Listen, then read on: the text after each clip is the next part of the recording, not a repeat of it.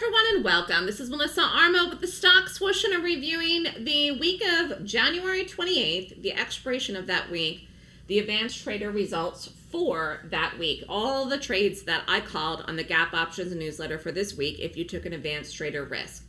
We had a good week, it was a solid week. I'm going to go over each trade, and there was an 89% win ratio. Now, again, as far as your risk goes, it really has to do with the size of your account. If you want to ask me what I think, I will give you my opinion, but at the end of the day, it's your money. And you have to do what's comfortable for you. And I think if you have experience trading and you have cash, and you certainly could risk an advance amount. If you have questions, you can email me at melissa at thestockswoosh.com. You can also call me at 929 3200 GAP, and you can follow me on Twitter, Facebook, YouTube, or Skype. So, everything that I do, including my options, picks, I use my Golden Gap rating system. So it's one strategy. And again, you don't have to have done the class to sign up for the newsletter. So there's no prerequisites for the newsletter. The trades are emailed to you in live time. You don't have to have taken the class. Now, do I think the class helps? Sure. Any education helps you when you're trading. Absolutely. But there are a lot of people in the letter right now that are making money that have never done the class. I suspect that some of them will eventually at some point take the class, but that is really up to you. So let's talk about trades reviewed. And again, this is an advanced trader risk for this week. the week expiring, expiring of January 28th, I mean. So the win ratio was 89%. There were eight winners, zero break evens, which sometimes is the case. Losers was one and nine trades. Advanced trader risk for all the trades combined if you took them all with an average risk of about $8,000 a trade was 74,300 and advanced trader profits 127,500 and return on investment 172%. So this is just for this week where all the trades expire the 28th. And again, we're going back to January. If you'd like to take the class, I always tell people you certainly can. I usually do the class once a month, and I do think it is important to learn what to do. But that's up to you. That's your decision. I allow people to sign up for the newsletter without having taken the course. I rate the gaps in the morning in the newsletter. So that's how I'm making the picks using the system you would learn in this class. But it is advantageous to understand it, to learn targets, um, the entries, all of it. So it's March 26th and 27th is the class for March. Class tuition is $69.99. Class is online. You can be anywhere in the world and take it. You must email me for sign up forms if you want to sign up. Now, if you just want to sign up for the newsletter, it is $69.99 for a 12 month subscription and $49.99 for a six month subscription. The trades are emailed to you. And again, email me at melissa at thestockswoosh.com. If you would like to sign up, you can sign up and start getting the trades on Monday. So let's go over January 28th week. This was a good week. um, this was the week of this expiration. So what happened on Wednesday the 19th, I called Usually I call most of the trades in the morning. Most of them are in the morning, like a lot of them. A few in the afternoon, but most trades are in the morning. Uh, it was called on Wednesday, and then it was a put, the 452s. This cost $4.70, 20 contracts with a risk of 9400 sold at $25, profit was 40600 and a 432% return on investment. So a put is a short. So I was calling it, looking at the gap, reading that it would continue lower. Let's take a look at what it did. So again, this was the 19th.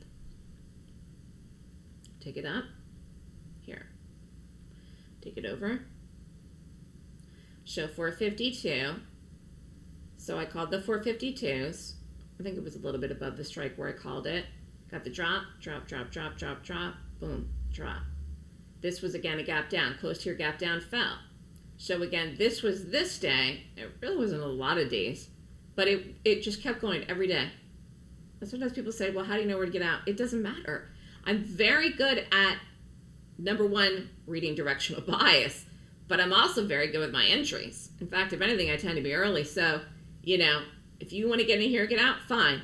If you want to get in here, get out here, fine. If you want to get in here, get out here, fine. If you want to get in here, get out, fine. I mean, literally. Actually, this was probably up, although I didn't look and see what the price was even the last day, because the last day of expiration, it was at 425. it had to be up. it was with a 440 52 strike. So I mean, I don't think people should hold the last day when they're up in a trade. And if you're down in a trade, it's a different story. But you know, as far as your exits, there are some things I get good exits on. There are some things I could have gotten a lot better exits on. And then there are occasionally trades where I get perfect, perfect exits on. In this case here, this was an easy exit with the with the gap down on the Monday. I mean, it really, really was. Again, you know, three, four, five days down, you got to you got to book the profits in the trade. So that was a that was a nice one, and that was let me go back here. That's why that was 432 percent return on investment. But the point was, it kept going. So you know, it just kept going. So every day there wasn't a lot of money money management needed. You were up. You're up, you're up, you're up. You know. Eventually you have to book the money though. This was Friday, the Netflix day that the, had the earnings the night before. It had it just bombed on the earnings from Thursday night to Friday night. I watched a trade. So then the next day I called this. I knew it would continue. Rated the gap, rated well, called the 400 puts, boom. And I again, I, am never doing anything. I could, you could have even done this for the day of the 21st, which is silly. I never do that. I never ever do. But there are people that do actually day trade options that do that, because they do it because the price is cheap. I like to build the time in for myself. So and, and just to be just to be certain. So the cost was fourteen dollars. Six contracts was eighty four hundred. Risk sold at forty five dollars. Profit eighteen thousand six hundred this is getting in it Friday, the day after the earnings, holding it over the weekend and exiting Monday. But you could have got out of this Friday too. I'll show you the chart in a minute. Return on investment 221%. Beautiful trade. Again, here you are. We had earnings that night. Take it over. It was crazy. Fell. This was at 500 something. Opened under 400. It was ridiculous. I mean, I watched that trade that night. That was nuts. So here's the drop. Here's the volume. Here's the selling. Boom, boom, boom. Here's the fall. Again, close here, gap down, dropped. Nice move. Beautiful call. A little pricey, but that's okay. Then the 390s. Again, you had a whole week. A whole week. I gave the cushion. Cost was $11. Seven contracts for 7700 sold at $35, profit 16800 return on investment 218%. So this was slightly cheaper. It's the same gap. In fact, what time did I call this? 942. I called that one early, yeah. So I called one then after the open. Sometimes I'll stack them like that. Nice trade. Again, try to keep your risk similar, close to equal. Try, try, try as hard as you can to risk close to the same amount based on the cost of the options. Then we did the QQQ, strike 358 expired the same Friday. Again, I called it out a week. Gapped on a Monday, drop, fell. Uh, gapped on a Friday, drop, fell. Gapped on Monday, fell. Cost was 650. Contract was 12. Risk was 7,800. Sold at 20. Profit $16,200. 208% return investment. And this is just from taking a trade in a Friday to getting out of a trade on a Monday. And one of the things that I always explain to people that's so advantageous about trading options is that for the very reason that options actually gap in your favor, if you're in a trade, you can make a lot of money overnight. And the only overnight risk you have in an option is what you have at risk. It's not endless like in a swing trade or an outright cash position where you own the stock, okay? And it can go against you and you have, you know, infinity is your risk that when you take a trade, if you risk a thousand dollars, that's all you can lose, even if the trade goes against you overnight or it doesn't work at all. Okay. But one of the reasons that trading options is very advantageous is if you're in a put and it gaps down and falls overnight, the next day you're up more. If you're in a call and it gaps up and the next day it's in your favor, you're up more. So that is how these big moves and these return on investments can end up you know, just skyrocketing because of the fact that you're getting it not only in the right direction, but you're getting then a secondary move overnight. You're in it, you get the move of the day and a secondary or third move overnight. Do you understand? Because it happens in the gap. And that is, again, why this newsletter, this Gap Options newsletter, is so powerful because I'm reading the gap when I'm making the call. And that is important.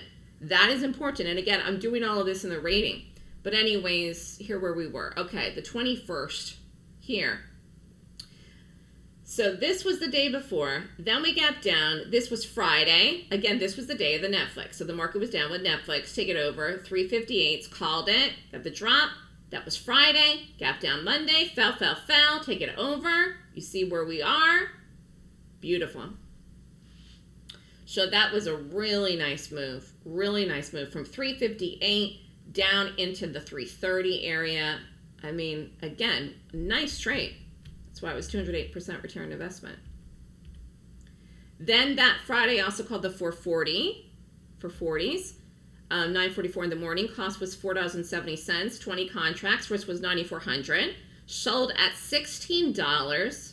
Just a, it's a solid, solid trade. Again, taking the Friday, getting out of the Monday. Boom, boom. Chunk it out. Chunk it, chunk it, chunk it. Chunk it, chunk it, chunk it. You take the trade, you get the move, get out. Take the trade, get the move, get out. And again, if you don't want to hold over the weekend because it makes you nervous right now with the volatility, get out on the Friday. You were up on Friday. I called this trade early, 9:44 in the morning. Uh, fell into the close. Profit was 22,600. Return on investment 240 percent. So let's look at this. The 440 puts again, 121. So take it over. Fell into it, closed here, gap down. This is Friday. Again, fell into the close. Then we continued selling off on Monday, fell. Again, this is red on the day if you're watching that live. That was a nice trade. Then we did Apple on Monday. I could have done this Friday. 160 puts it expired on the Friday. You take it, you get out, boom, get out. Again, chunk it. Cost was $4.50. And again, this is with the market. So I'm calling this with the market. You understand? So if you're seeing the market's going to bounce and you're up and you're seeing that Apple's going to bounce with the market and you're up, you got to get out. So you time all these things again with the market. Plus, I have the targets in the letter. Cost was $4.50, number of contracts 220. Risk was 9000 sold at 725 profit $5,500, return on investment 61%. And again, that's good. You're in, you're out. So sometimes I will call trade and it will go immediately that day. Sometimes it won't. And, and often when you get the market with you, that's ideal. That's ideal. Again, here we are the 21st. Closed here, gap down, rallied, fell, closed here, gap down. Here's the 24th. So I called it here. Again, take it over. I called the 160s, fell, boom. There's the drop, four bucks. Thereabouts. So that was nice. 61% return investment for that one. Then I called the 430 spies. Again, from the Friday SPY put to the Monday SPY put, cost was 650. Number of contracts was 12. Risk was 7,800. Sold at 1275. Profit $7,500. It's a nice trade. Again, this is not a perfect science. If I have targets in the letter, it's close enough when it gets to it. You're looking for 100%, 96%, close enough.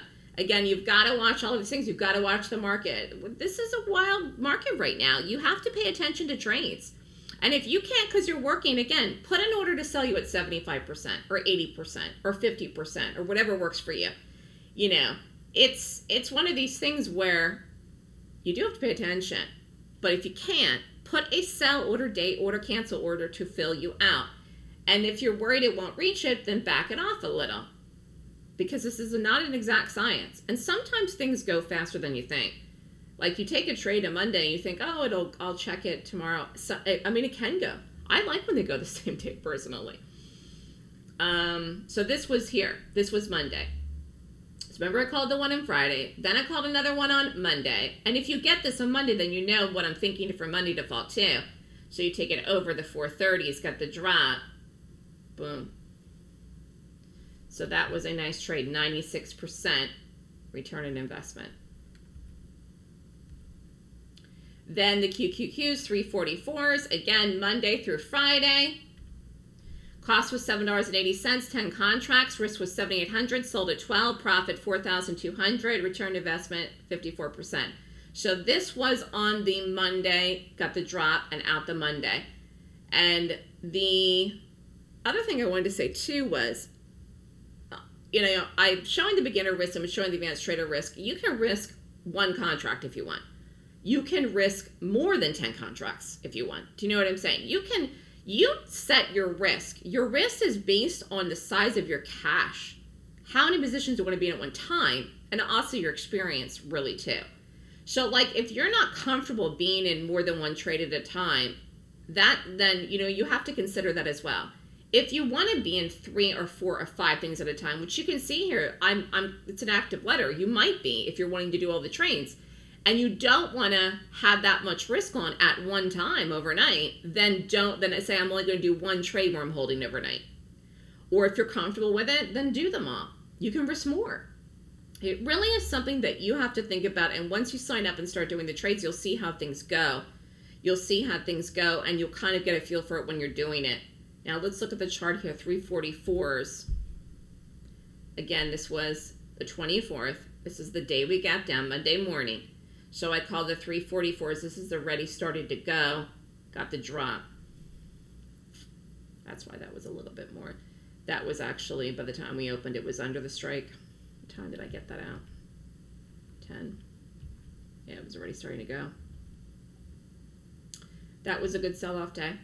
428s then I called on Tuesday. This is the puts in the market. This one did not go the way that I thought. I'll show you why it was not a complete bust, but you can hold this again if it's down into the very last day to see if it flips. Which if you did, it wasn't worthless. It wasn't worthless. You could have got out of it with something, which is, you know, interesting. Again, timing has a lot to do with options because you see here on the 28th, it was actually right, right, right, right, right, right, right there at the strike. But it, I here's the day that I called it the 25th, and it fell. And actually, you could have got out of this here with money but I thought it was going to keep going, and then it just didn't do it. It just did not. But it wasn't a total loss. So if you're interested in trading gaps as options, I think that that's something that if you're busy working during the day, if you have a job and you're busy doing stuff, you can get the trade on and then put a sell order. Like I said, if it hits, you don't have to watch it. It'll get you out. If you love options and you know what I mean about holding overnight and and the money that you can make in options, particularly with a small account or small risk compared to having a margin account, which you need more cash for, uh, then this may be something you want to think about doing. It's baby stepping, it's learning as you go. It's not a class, it's a newsletter subscription, but many people have ended up doing the class after they've money, made money with a subscription. Have, have a lot of people that are doing extremely well this year. We have had a good start to the year. People always say, well, you never go long. That's not true. That's absolutely, absolutely, absolutely not true. Um, there have been many, many years where I've done a lot of calls. We have done some calls this year. We have done puts this year too. I do prefer to short, but it's funny, I prefer to day trade short, actually. I don't have a preference with options. I don't have a preference that I, I love to do puts or love to do calls for options. I like to day trade short more than anything else, more than I like to go long because I like the fast move. With options, though, particularly with options, I'm looking at what's happening with the market. So we do do calls in the market and we do do puts in the market. The timing of it and how I'm reading the market plays a big factor in what I'm doing. So I think it's important to make sure that you get the direction right in any trade that you do, but you've got to get the timing right in options as well. But we absolutely do calls on this newsletter, and we will this year, and we have and we've done it in past years as well. In fact, when I started this newsletter, I don't remember how many years ago it was now, seven or something like that. Um, I think when we first started, we were doing a lot of calls. We were doing a lot of calls, but market conditions change, and you have to change with them. And so we do we do gap trades for many reasons: the market, volatility, news, earnings, so many different things. Again, I'm doing the analyzing for you and you're getting the trade to your newsletter to the newsletter to your email in live time. Again in the morning in the pre-market you can get organized what you want to do how many you want to do depending on how many i set out and that's all up to you or if you want to do one at a time. Most are sent in the morning in the pre-market or between 9.30 and 10 a.m ish so if you have questions email me. If you're interested in signing up you can sign up and start receiving the trades as soon as you sign up Email me with questions at melissa at. Have a great day, everyone.